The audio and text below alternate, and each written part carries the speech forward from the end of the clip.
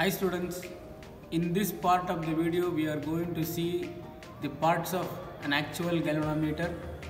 The galvanometer that you use in a laboratory is like this.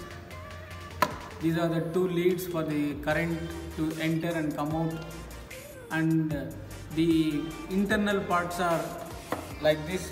These are the parts we have cut open from a defunct galvanometer. A galvanometer which was out of order. So we have removed the internal parts to show you how the galvanometer is actually constructed.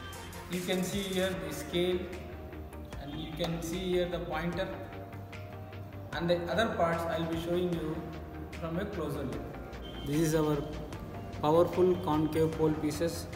How do you say it is a powerful concave pole pieces? See here.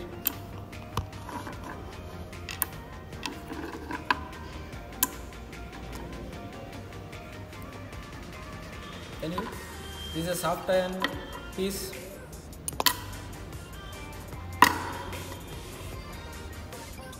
The rectangular coil, can you see now?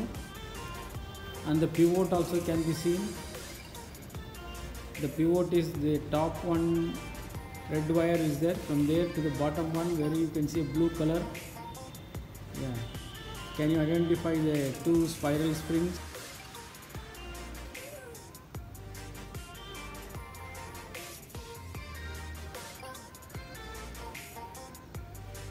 See the rectangular coil is not touching the soft iron cylinder.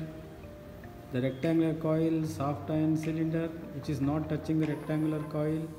The pointer and the two spiral springs they are all under a strong pivot. They are all with the support of the pivot. So the rectangular coil is free to move. So when current flows through the rectangular coil, there will be a torque experienced by the rectangular coil. The two spiral springs, can you see the spiral springs? Shining one. The two spiral springs provide the counter torque.